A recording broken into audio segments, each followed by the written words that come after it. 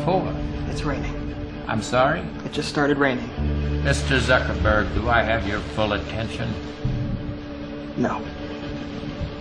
Do you think I deserve it? What? Do you think I deserve your full attention?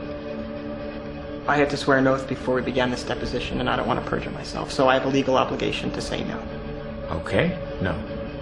You don't think I deserve your attention? I think if your clients want to sit on my shoulders and call themselves tall, they have a right to give it a try, but there's no requirement that I enjoy sitting here listening to people lie.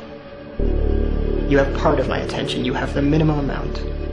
The rest of my attention is back at the offices of Facebook, where my colleagues and I are doing things that no one in this room, including and especially your clients, are intellectually or creatively capable of doing.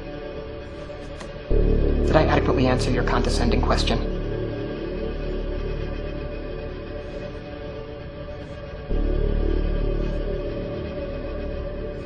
Have 1245. Why don't we say that's lunch? Back at 2.30.